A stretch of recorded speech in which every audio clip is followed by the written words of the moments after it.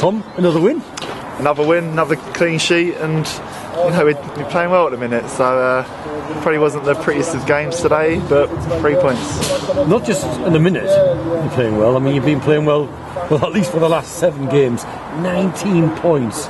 It's it's quite an accumulation of points. Yeah, on a, on a great run, and you know all the boys in the change room are you know just buzzing. So we're coming in, coming into games, and you know we're thinking we're going to win the game. And the way we're playing, the way we're, you know, as I said, it wasn't the prettiest game today, but we've battled well. We've done all we needed to do, and scored two goals.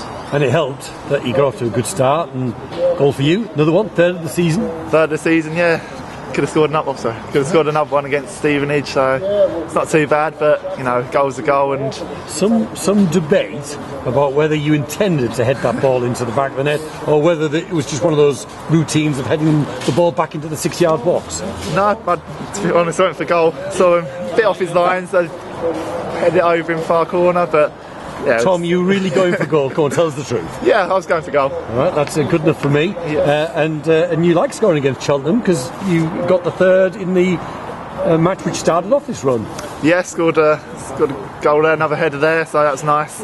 Not sure it's you know just Cheltenham that I like scoring against, but you know you got to take them when they come. And you got one against Hartlepool as well.